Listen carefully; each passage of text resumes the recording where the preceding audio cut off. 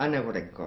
Aquest és un poema que si l'hagués dedicat a més d'aquest llibreros més que tànatos, eh, l'hauria dedicat a la Montserrat Roig perquè és arrel de les converses... És a dir, Anna Gorenko era el nom real de la gran poeta del segle XX russa, eh, Anna Akhmatova, eh, que per festiguejar la seva família una mica aristocràtica es va posar Akhmatova en comptes de Gorenko, que era un gentilici molt més noble, i Akhmatova és tàrtar, però per d'això, sí, en fi.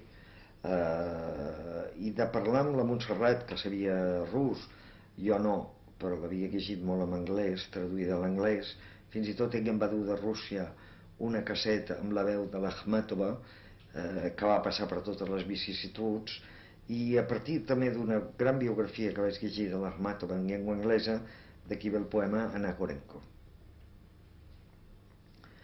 Després, sense el teu talent, totes hem estat més o menys mig monges i mig putes, mig de claustre, mig de carrer.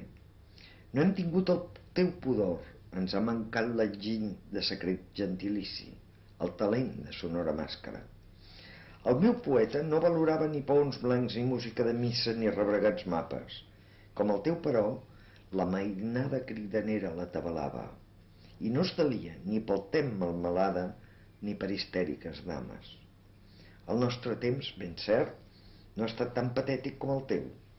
Per aquesta raó, potser, t'hem de retre homenatge. Més encara pel teu vers, d'agulles tan daurades, per la teva seriesa que ni les traïcions amaguen. També perquè t'han cantat més que tots els versos que vas escriure, tan gelosos que volien immortalitzar-te amb llapis i pinzells i càmeres, i perquè sempre seràs tan lluny i tan a prop de les nostres conquestes, de les nostres davallades.